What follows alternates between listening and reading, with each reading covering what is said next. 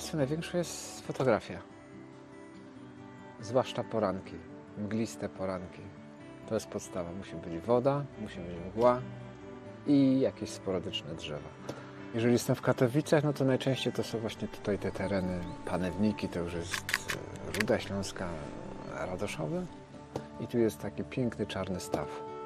Uwielbiam to miejsce. To jest mój number one w Katowicach.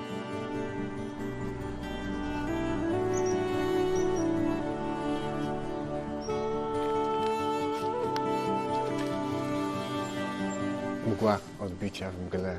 Mgła daje ten mrok, który mi się najbardziej właśnie podoba w tym wszystkim. Dzisiaj nie było właśnie mgły. Byłem bardzo zawiedziony. Są i zwierzęta, ptactwo, różni ludzie.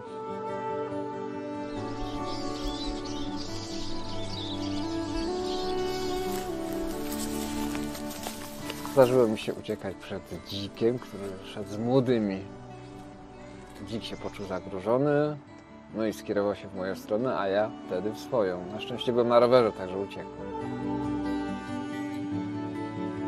W Katowicach mieszkam na Ligocie. Żona uczy w szkole podstawowej, a córka studiuje psychologię i druga córka w domu.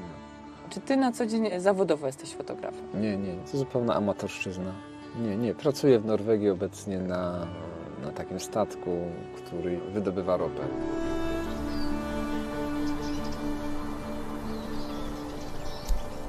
To nie jedyna pasja w mojej rodzinie. Moja mama gra na pianinie.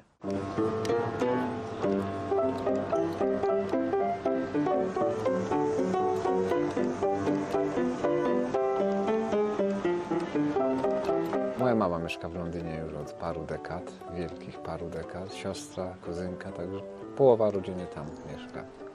Ogólnie mieszkałem w Londynie całe lata, teraz sporadycznie przyjeżdżam, ale jak jestem, to zawsze muszę iść do Bushy Parku, który znajduje się koło właśnie mieszkania mojej mamy i gdzie właśnie tam robiłem zdjęcia. Między innymi właśnie to BBC, które wygrało.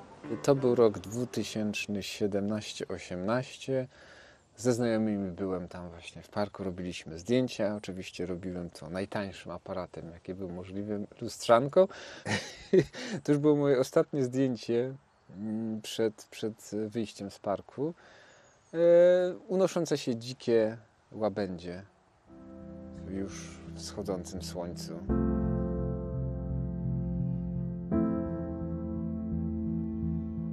Było dla mnie wielkim zaskoczeniem, że wygrało to zdjęcie. Wręcz byłem w szoku. To zdjęcie też wygrało w National Geographic w Polsce w takim w konkursie. A czemu wysłałem? No nie wiem, no czułem, że ma to coś, to zdjęcie.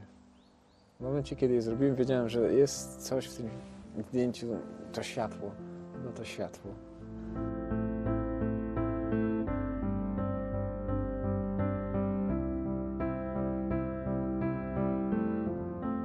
Londynie jestem w stanie podejść bardzo blisko do jeleni, do saren. Wiewiórki mogą mi jeść z ręki. To same z ptactwem, czy szpaki, papugi. Ja nie znoszę tego komercyjnego, kiczowatego Big Bena. Ja lubię ten Londyn Dickensa, gdzieś właśnie północny Londyn, jak Siedem Cudów Londynu. Ukryty taki, podziemny. Ten jest dla mnie fascynujący.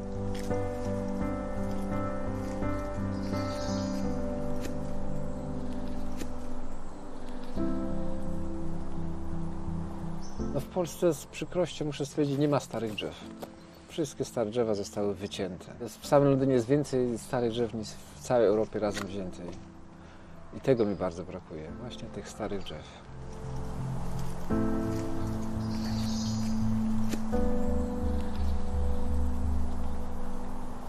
Fotografia u mnie się zaczęła w 2017, 5 lat temu.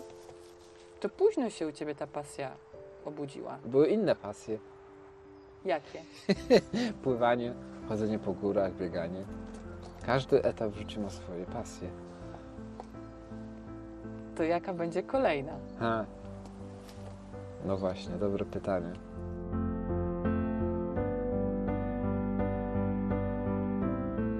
Myślę, że w życiu każdego czeka są etapy i to życie jest podzielone na pewne pasje. U mnie było to pływanie, bieganie, rower, jest fotografia No nie wiadomo, co będzie następną pasją, ale myślę, że każdy powinien w każdym wieku trzymać się jakiejś swojej pasji.